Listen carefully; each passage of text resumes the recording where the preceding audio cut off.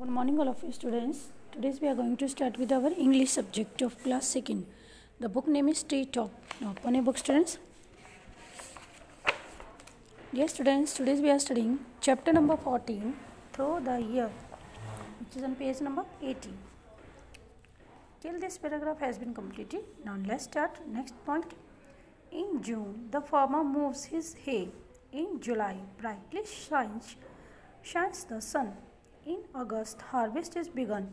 September turns the green leaves brown.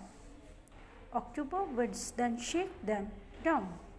November fills with brick and smear. December comes and ends the year. ये students इसमें कहा जा रहा है कि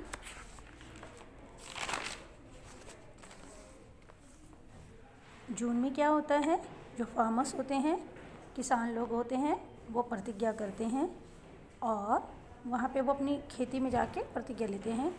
और जुलाई में क्या होता है? सूरज बहुत चमकने लग जाता है और अगस्त में जो क्या कहते हैं फ़सलों की कटाई शुरू हो जाती है और सितंबर में फिर से जो हरी पत्तियाँ हैं वो ब्राउन हो जाती हैं। देखिए यहाँ पे दिखाई दे रहा पिक, पिक्चर में। और अक्टूबर में जो हवाएँ होती हैं वो चलने लग जाती हैं और जो पत्तियाँ होती हैं, वो नीचे गिरने लग जाती हैं। November fills with beak and smell और जो नवंबर में क्या होता है?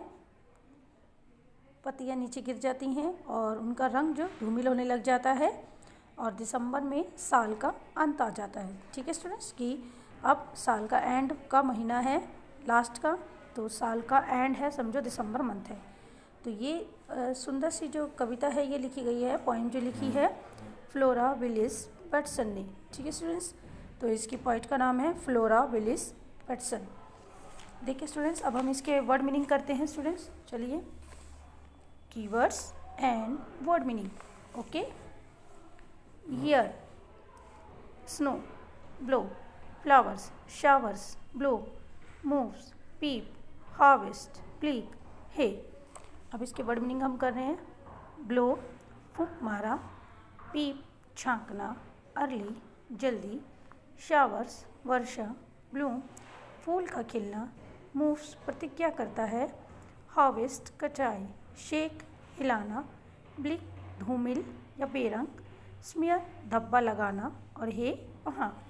Okay students okay. Bye students next अगली क्लास में करेंगे okay take care stay safe and stay healthy and video को लाइक शेयर कमेंट कीजिए. And thank you